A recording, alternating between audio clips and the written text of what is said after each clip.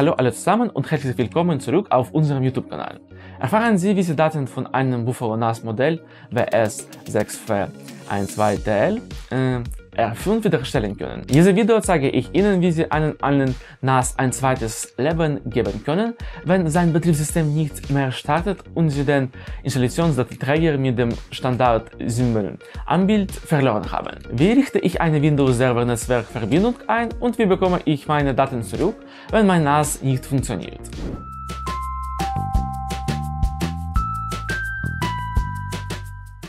Also, ich habe ein altes NAS Buffalo Modell WS ZWL mit sechs Festplatten. Das USB-Laufwerk mit dem Standardbetriebssystem war schon lange verloren, also beschloss ich, Windows Storage Server 2012 darauf zu installieren. Das Standardsystem auf diesem Gerät war WSS 2008. Da das Standardsystem kein Laufwerk enthält und man sich nicht die Mühe machen will, einen Treiber für dieses Gerät zu finden, haben wir uns entschieden, ein neueres System zu installieren. Das Betriebssystem für ältere Geräte finden Sie unter Archiv.org. Hier finden Sie Disk Image von früheren Versionen des Windows Server Betriebssystems. Sie können hier auch ein Betriebs wie X-Technologie, Open Media Vault oder TrueNAS installieren. Nachdem Sie das Image heruntergeladen haben, erstellen Sie einen bootfähigen USB-Stick mit Windows Storage Server 2012. Ich glaube nicht, dass wir uns mit dem Installationsprozess aushalten müssen, da er sich nicht wesentlich von jeder anderen Windows-Installation unterscheidet. Das einzige Problem bei diesem Modell ist, dass Sie das Bootlaufwerk an einen USB 2.0 Steckplatz anschließen müssen. An den zweiten Steckplatz muss eine Tastatur angeschlossen werden. Dieses NAS verfügt auch über einen VGA-Ausgang für einen Monitor, der die Installation eines nicht standardisierten Betriebssystems ermöglicht. Es ist also alles angeschlossen und bereit für die Installation des Betriebssystems. Um beim Start des NAS ein bootfähiges Gerät auszuwählen, drücken Sie die Taste F12 auf der Tastatur, wählen Sie dann ein bootfähiges USB-Laufwerk aus der Liste aus und starten Sie die Installation. Nach der Installation des Betriebssystems habe ich mit Hilfe eines Dienstprogramms Windows Storage Pool einen RAID-Array der äh, Stufe 5 aus den drei angeschlossenen Laufwerken zusammengestellt. Hier ist ein einfach zuerst einen Pool von drei Laufwerken zu erstellen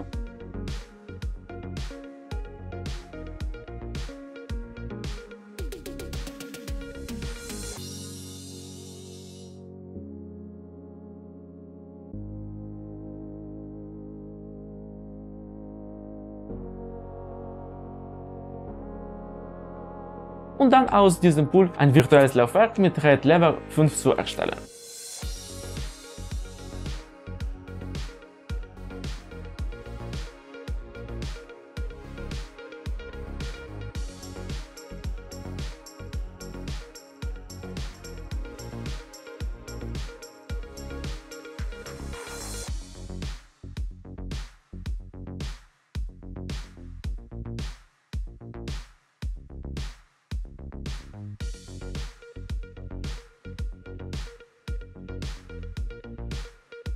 Das Ergebnis war ein Laufwerk mit dieser Kapazität. Das Laufwerk wurde dann im Netz freigegeben, um den Fernzugriff auf den Speicher zu ermöglichen. Danach können Sie mit ihm arbeiten, indem Sie es als Netzlaufwerk an einen anderen PC anschließen. Eine weitere Möglichkeit, den Zugriff auf Ihren Server über eine ICC-ICI-Verbindung einzurichten. Um eine ICC-SI-Rolle auf dem Server einzurichten, öffnen Sie Server Manager, gehen Sie zu Dateien und Speicherdienste, File and Service ICC-SI. Wenn es hier keine ICC-SI-Option gibt, klicken Sie auf Manage, Add Roles und Future, Server Roles, File and Storage Service, File and ICCSI Service. Aktivieren Sie hier Datei Server und ICCSI Zielserver, dann weiter und installieren. Sobald die Installation abgeschlossen ist, müssen Sie das System nicht neu starten und können direkt mit der Einrichtung des Zielservers beginnen. Gehen Sie dazu zurück zum Fenster Server Manager und öffnen Sie den Abschnitt Datei- und Speicherdienste. Um eine neue virtuelle Festplatte zu erstellen, klicken Sie auf diesem Link oder öffnen Sie Ausgabe. Neue virtuelle ICCI Festplatte. Wenn sich das Fenster öffnet, wählen Sie die Festplatte aus, in meinem Fall ein RAID-Array, das Sie zuvor erstellt haben, und klicken Sie auf Weiter. Der nächste Schritt besteht darin, dem Laufwerk einen Namen zu geben, Weiter. Geben Sie Größe und Typ an, Weiter. Das neue ICCI-Ziel, Next. Geben Sie einen Namen für das neue Ziel an.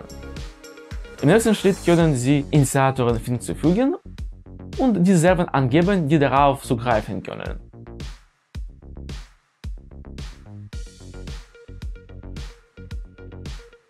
Auf der nächsten Seite können Sie die CHEP-Authentifizierung zwischen Servern konfigurieren. CHEP ist ein Protokoll zur Authentifizierung des Verbindungspartners auf der Grundlage eines gemeinsamen Passworts oder Geheimnisses. Für ICCI kann sowohl eine einseitige als auch eine umgekehrte CHEP-Authentifizierung durchgeführt werden. Next.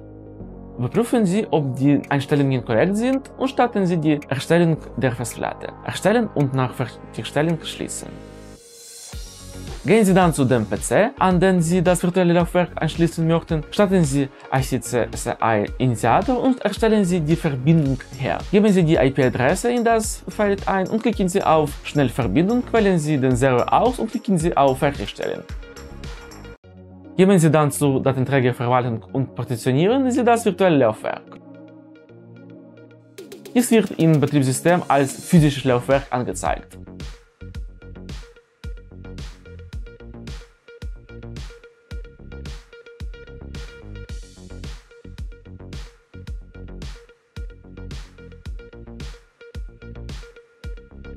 Das Laufwerk wird dann im Explorer angezeigt. Da das Gerät schon recht alt ist und eine Lebensdauer von etwa 5 Jahren hat, lohnt es sich, sich von dem Verlust wichtiger Daten in der Zukunft zu schützen. Wenn das Gerät ausfällt, wird der RAID-Array einfach zerstört und alle Daten werden unkenntlich. Um Daten von Ihren Festplatten wiederherzustellen, benötigen Sie eine spezielle Rettungssoftware, Hetman RAID Recovery, kann Ihnen helfen ein ausgefallenes Gerätlaufwerk wieder zusammenzusetzen und wichtige Daten davon abzurufen. Die NAS-Geräte von Buffalo bietet zuverlässigen zentralisierten Speicher für ihre privaten und äh, geschäftlichen Anforderungen. Doch auch wenn Buffalo-Systeme mit moderner Hardware und erstklassigen Sicherungs- und Wiederherstellungsprogrammen ausgetastet sind, können die dennoch äh, versachen, wie jedes andere Speichersystem sieht sie trotz ihrem erhöhten zuverlässig immer noch anfällig äh, für Ausfälle und Datenverluste. Verlorene Geräte zeigen häufig äh, Fehlercodes über ein LED-Panel an, um Probleme zu signalisieren. Diese Serie von langen und kurzen mm, Blinksignalen zeigt an, dass eine Datenwiederherstellung erforderlich sein könnte. Die Meldung E15 bedeutet zum Beispiel, dass ein oder mehrere Laufwerke ausgefallen sind. Um die besten Chancen auf eine Wiederherstellung zu haben, sollten Sie den Computer sofort abschalten und das defekte Laufwerk ausschalten. Wenn Ihr NAS ausgefallen ist, ein oder mehrere Laufwerke im Array ausgefallen sind und Sie den Zugriff auf Ihren Speicher und die noch auf dem Laufwerk befindlichen Daten verloren haben, kann Ihnen RAID Datenwiederherstellungssoftware helfen, Ihre Dateien wiederherzustellen.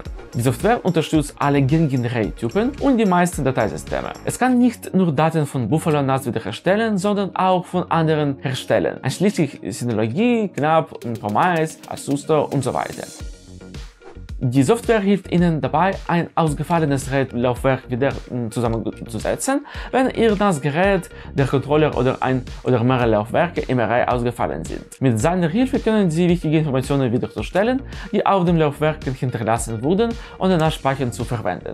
Entfernen Sie die Laufwerke aus dem NAS-Gerät und schließen Sie sie an die Hauptplatine eines Windows-PCs an. Sie sollten die Reifenfolge des Festplatten markieren, indem sie in den Speicher angelegt wurden. Wenn auf der Hauptplatine nicht genügend SATA-Anschlüsse oder Stromanschlüsse vorhanden sind, verwenden Sie spezielle Verlängerungen und Adapter, wie die, die jetzt auf dem Bildschirm sehen. Sobald die Laufwerke abgeschlossen sind, starten Sie die Software. Das Programm setzt das RAID automatisch aus den Laufwerken wieder zusammen und zeigt es im Softwarefenster an. Wie Sie sehen können, werden alle RAID-Parameter korrekt erkannt. Zur Datenwiederherstellung klicken Sie mit der Rechten Maustaste auf das Laufwerk und wählen Sie Öffnen.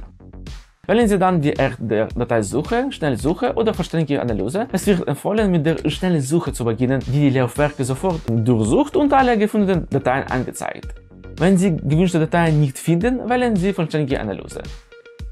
Gehen Sie dazu zurück zum Hauptmenü der Software, klicken Sie mit der rechten Maustaste auf das Laufwerk und wählen Sie Reanalyse. Vollständige Analyse Geben Sie das Dateisystem an und klicken Sie auf Weiter. In besonders komplexen Situationen empfiehlt es sich, eine Signatursuche mit aktivierten Kontrollkätzchen Tiefanalyse durchzuführen. Das Programm baute das zerstörte RAID im automatischen Modus problemlos wieder zusammen und fand alle Dateien, die auf dem Festplattenarray gespeichert waren, einschließend der hier mit einem roten Kreuz markieren gelöschten Dateien. Der Inhalt der Dateien kann in der Vorschau angezeigt werden. Suchen Sie die Dateien, die Sie wiederherstellen möchten, wählen Sie sie aus und klicken Sie auf die Schaltfläche Wiederherstellen. Wählen Sie das Laufwerk oder der Ordner, in dem Sie die Dateien speichern möchten und klicken Sie auf Wiederherstellen. Nach Abschluss des Vorgangs befinden sich alle Daten in dem angegebenen Verzeichnis.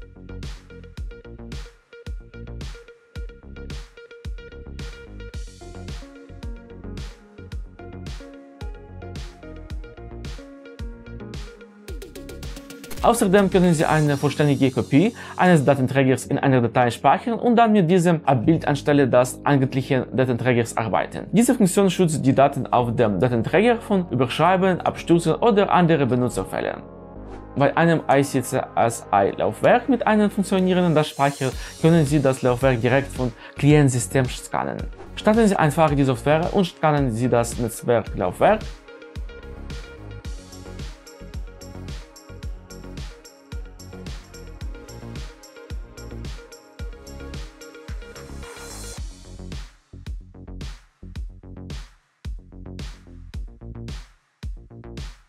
Finden Sie verzeichentlich gelöschte Dateien und stellen Sie sie wieder her. Diese Methode kann helfen, wenn Sie verzeichliche Dateien aus dem Speicher löschen. In diesem Fall ist es nicht erforderlich, die Festplatten aus dem Speicher zu entfernen. Stellen Sie eine ICCI-Verbindung her und versuchen Sie das Laufwerk zu skalieren, auf dem die Dateien gelöscht wurden. Wir haben bereits beschrieben, wie man eine solche Verbindung einrichten.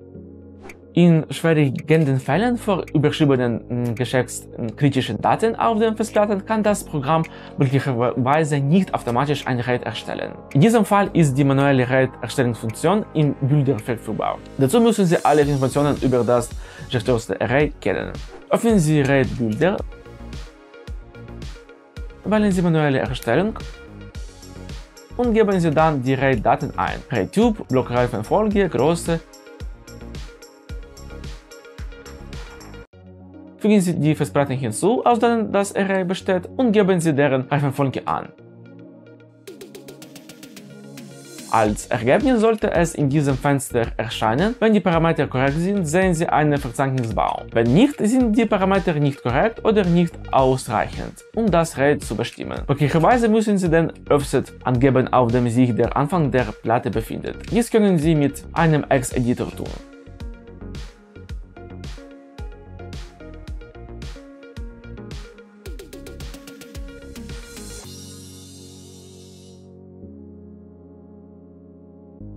Wenn alle Parameter angegeben sind, klicken Sie auf Hinzufügen. Das Array wird im Disk Manager angezeigt. Jetzt bleibt nur noch, sie zu analysieren, eine schnelle oder vollständige Analyse zu wählen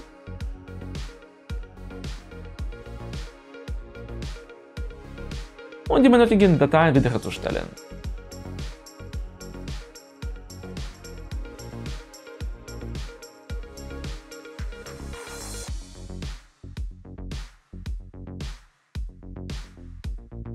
Und das war's. Ich hoffe, dieses Video war für Sie nützlich. Denken Sie daran, dieses Video zu liken. Vergessen Sie nicht, unseren Kanal zu abonnieren. Stellen Sie Ihre Frage in den Kommentaren unter dem Video. Vielen Dank fürs Zuschauen. Tschüss.